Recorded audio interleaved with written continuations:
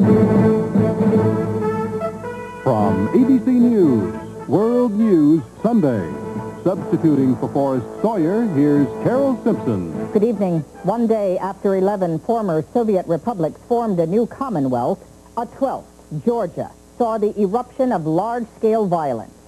Reports say at least 10 people were killed and 50 were wounded in clashes early today between rival factions of Georgia's military. And after a brief truce, new fighting is reported in the capital of Tbilisi tonight. More from John Donvan. It is an old fight that reached a new stage this morning. On the streets of Georgia's capital, Tbilisi, a political power struggle that started months ago turned into a shootout for control of the parliament building.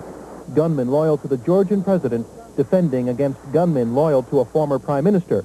Both sides call themselves reformers, but both are expending more energy on each other than on any reform. Georgia did not join the new Commonwealth of Independent States this weekend, which puts more distance than ever between Georgia's problems and the problems of the defunct Soviet Union. At most, Georgia serves as an example to the members of the Commonwealth of how not to resolve their differences. Those differences do exist, but Russian Republican President Boris Yeltsin and his team sound confident that the honeymoon can last. The chance for democratic solutions, uh, to my mind, out, uh, outweigh risks. Some of the risks that Kazakhstan's President Nursultan Nazarbayev will stand by his refusal to give up nuclear weapons as long as Russia has them, or that fighting among ethnic groups like the Armenians and Azerbaijanis will get worse now that there is no central power to referee. When the presidents of the Commonwealth republics agreed this weekend to kill off the Soviet Union, they left undefined much of what the Commonwealth is, but its members say clearly the Commonwealth is not one new country, but 11. Ukraine will have the independence of France.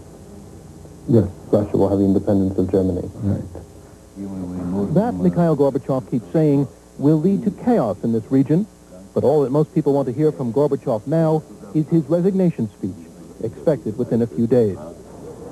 Meanwhile, here in Moscow, a march against the Commonwealth by a collection of elderly communists, unhappy workers, and politicians who call the Commonwealth a sellout of the power that was the Soviet Union. Their numbers are small and their politics confused, but this is an outlet for people's anger, and there is more of that here all the time. John Donvan, ABC News, Moscow. The rapid pace of political change in what was the Soviet Union has created more confusion than improvement, especially in the economy. Take, for example, the nightmare of holiday shopping in Moscow. ABC's Mike Lee is there. Every morning before dawn, a security guard at Moscow's largest toy store unlocks the door, runs for cover. Stampeding shoppers have no idea what, if anything, will be for sale inside. Inside, there are no toys to buy. Toys are like food. There are major problems with production and distribution. There's only one item for sale, a woman's sweater, one style and one size. Too small to fit most of the women who fought their way inside. But the sweater is cheap and can be traded on the street for other items, like toys or food.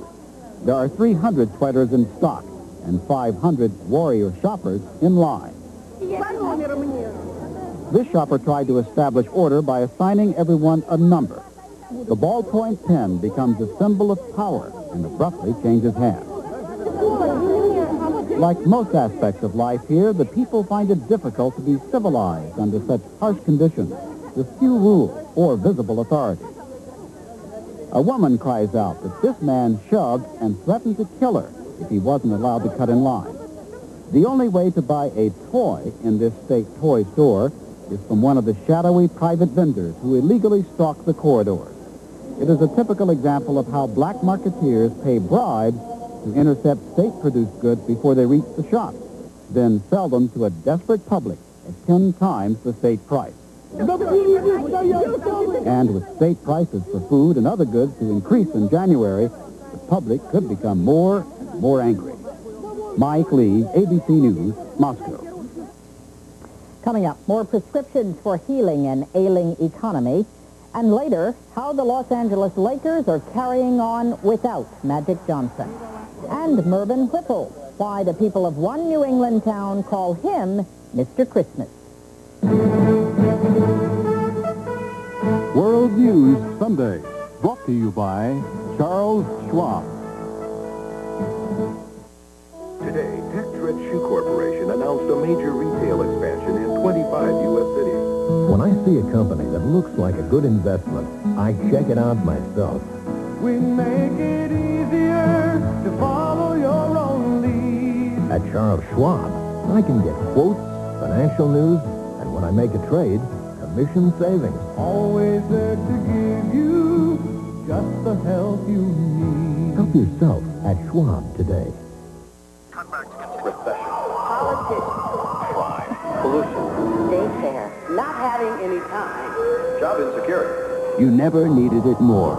A new extra-strength pain reliever made to get today's tough headaches before they really get you.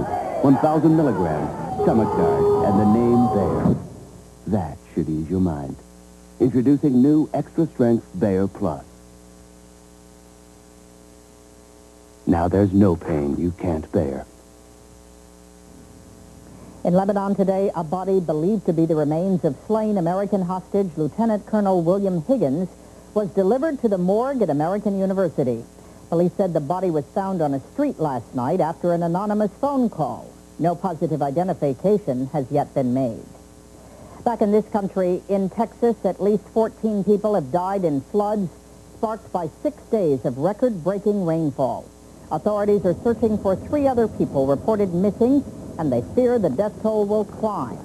Many roads have been closed, and helicopters have been used to evacuate some people from flooded areas. In a television interview broadcast today, President Bush warned critics not to count him out, despite his recent plunge in the polls. He vowed to get the economy turned around and thus restore his political fortunes. But Democratic presidential hopefuls and economic analysts were on TV today also pushing some economic remedies of their own. ABC's Bettina Gregory reports.